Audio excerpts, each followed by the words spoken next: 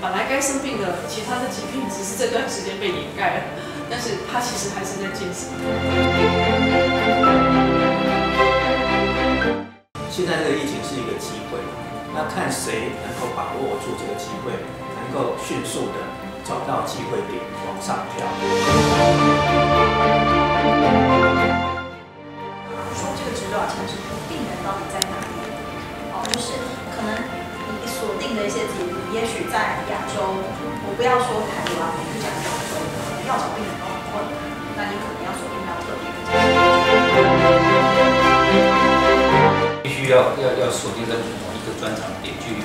扮演这个产业链的一个角色，至少在这个阶段，我觉得我们目前可以说大概就是这个样子，在产业里面的某一个阶段扮演一个重要的角色。我当然会未来有机会。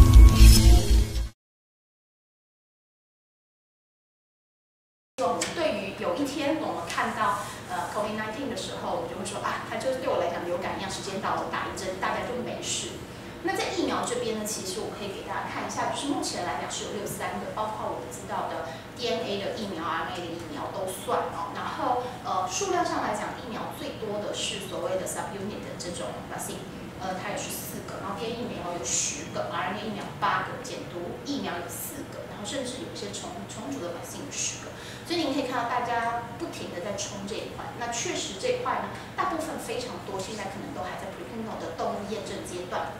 当然，呃，以现在的情况，不论是从安全性来讲，或者是法规单位的一个开放来讲，有可能这段时间会比我们一般预期这个药物说，呃，临床前可能最快的十个月到慢一点的两年，也许会缩得更短。那包括一些法规上的变化都会去增加。那再来一块就是做抗体这一块，那抗体这一块就会分几个，一个是我专门针对这个病毒的，我们去做这种呃指标性的这种。去消灭这样的病毒，当然也有一些的抗体呢。实际上它是已经上市的药物，可能不论是从嗯这种呃 COVID-19 的这种 disease pathway，或者是呃它的一个一个治疗的可能性，我们可以去看到哈，包括看到 interleukin six 这样的药物也都在做呃相关的这些临床试验。好，那当然我们也看到呃台湾在去年里面我们开放了这个细胞治疗。呃，以细胞治疗来讲，我相信台湾的呃观众也会特别关呃特别关注这一块。那我们也看到，实际上有呃细胞治疗，当然他们都还在目前临床前，他们在做临床前的准备，准备要上临床，在做呃 COVID-19 的这个治疗的一些准备。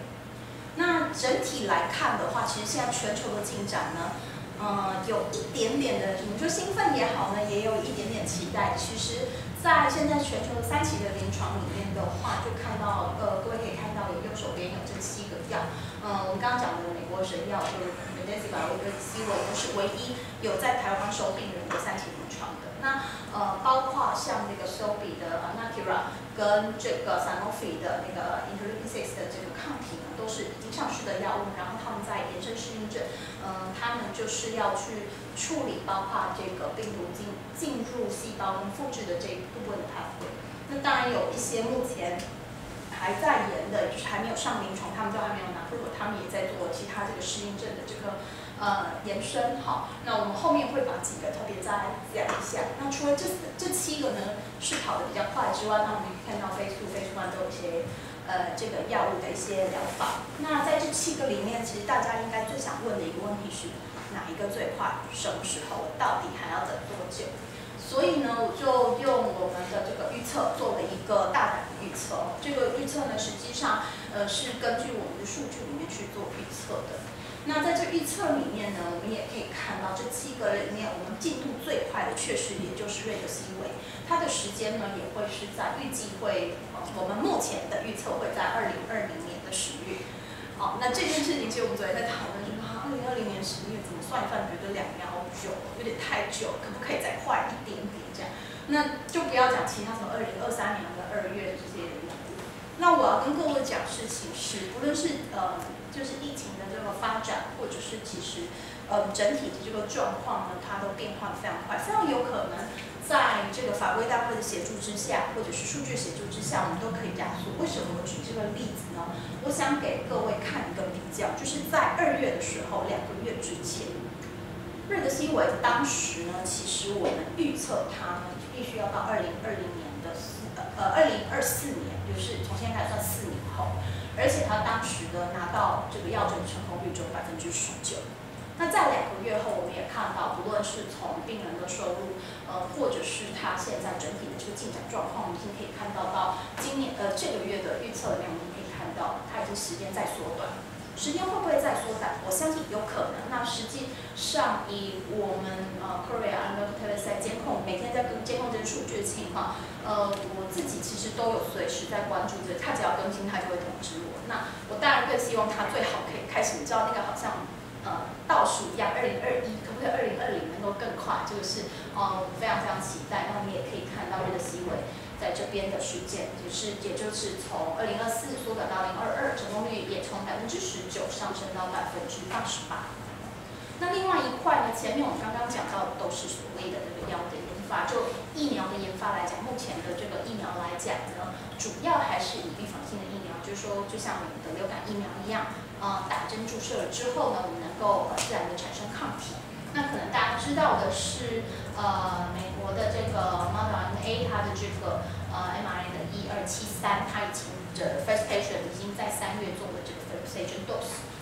那它的目前阶段也是在临床一期。呃，就目前我们看到数据是它预计在六月可以有初步的一次结果。我们会知道这样一个病人在注射之后，他能不能产生抗体？因为产生抗体，呃，我们也可以开来看它有相关的这个疫苗有效性。那当然，其他跑得很坏的，其实是在中国大陆本身。呃，疫情一开始最严重的也是在中国大陆。那我们看到，呃，在中国大陆这边呢的这个深圳免疫基因治疗研究院呢，它自己就出了两种，一个是 DC 的这个 vaccine，然后一个是 pathogen 的这个呃。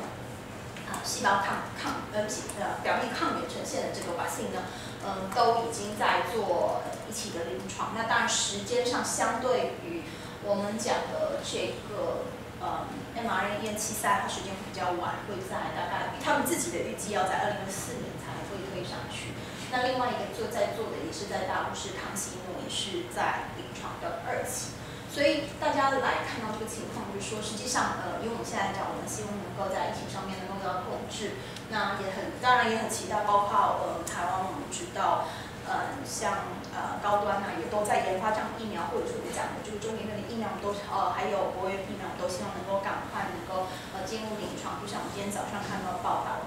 可不可以在二零二一年就赶快有这样的一个疫苗，大家之后就不用那么担心，然后也不用为了见面还要戴个口罩，然后拿下来还要很犹豫。这样，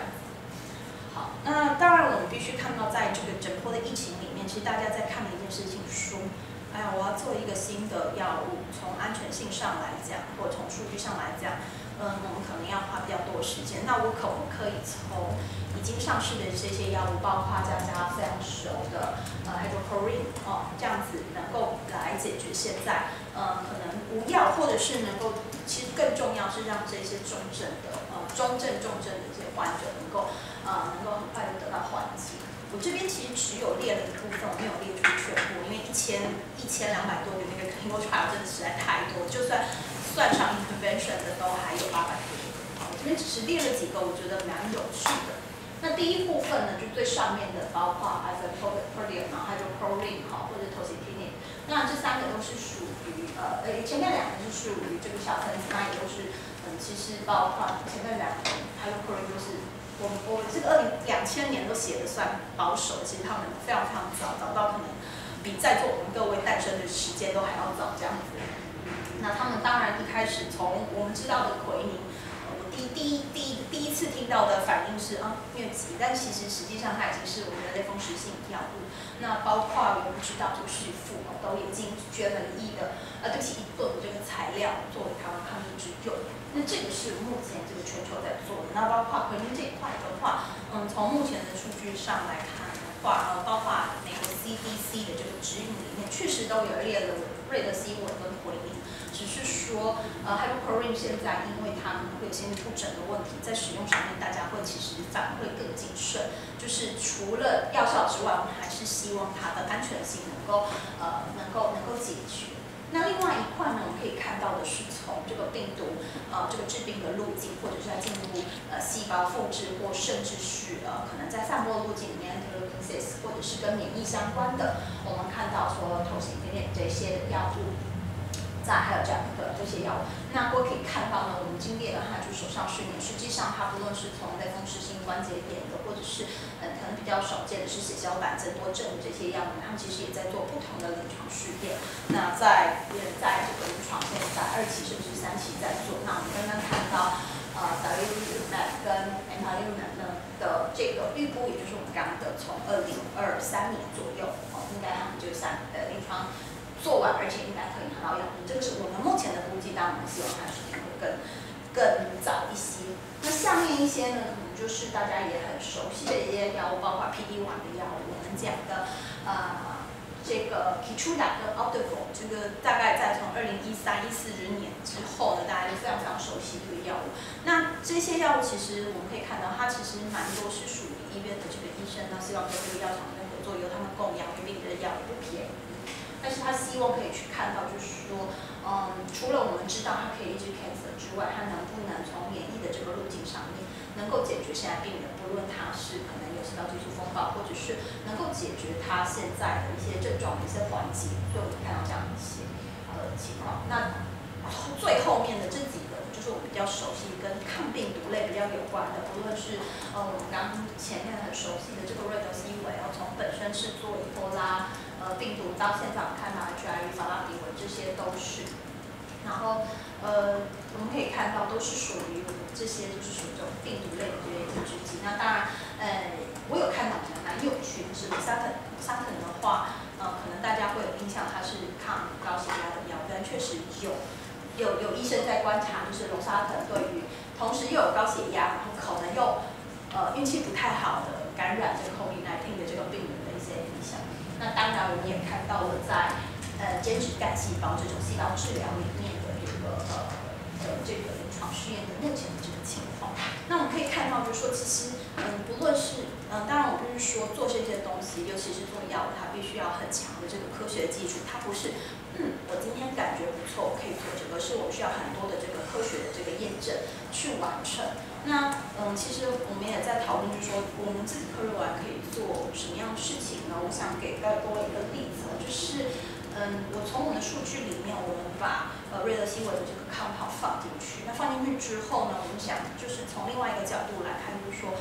也许瑞德西韦这样的一个 compound，，或者是可能我知道的这个几个 compound 里面，我可不可以透过跟它结构性相似，我找到几个可能也许曾经做过，但是它可能没有上市机会。的药物，它就是先是做出来之后，哦，有这样的一个相关的数据，但它被它就被留在了当时的 paper 呃论文上面，还没有机会走到上市的这些情况。那我们可以很快的去提取这些呃找找些这些数据，我们去参考说，那到底来评估现在它到底有没有这样一个往后发展的一个机会？那当然从另外一个角度来看，就是除了这个结构式的这个相似度之外，嗯，包括我们看到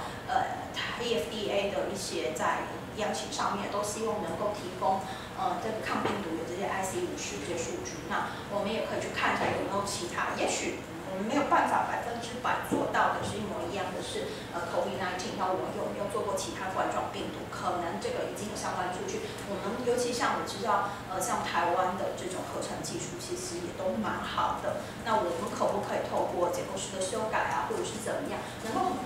这些药？这个是其实是呃我们希望看到的一个呃资源跟方向，也是希望可以提供的。然后，嗯，不好意思，我先。呃，插播一个算是广告，就也算是我们希望，呃，其实，在 COVID-19 的这个整个资源里面呢，我们身为嗯专业的这种情报数据的提供商，我们实际上我必须跟各位说，呃，我很确定在小年夜之前，我们就已经在讨论说，我们到底可以做什么事情。那在这边呢，其实您可以看到，无论是从我们 GoGo 的网页，或者是我看到疫情最严重的中国，我们公开的一部分就从数据的里面公开数据，就是从研究的论文、专利、诉讼，或者是啊现在的这些药物排放的情况，我们已经把这些的东西都已经全部公开在我们的这个研究资源专栏里面，同时每周都在更新。我们希望透过这样的一个数据公开，去移除掉科学家们之间的争胜。叫高塔塞漏。那希望透过我们这些数据呢，能够让这些呃非常聪明的科学家、非常认真的科学家，能够很快从现有数据里面找到一些机会，能够帮助我们来呃得到这个更好的药物，然后赶快缓解疫情。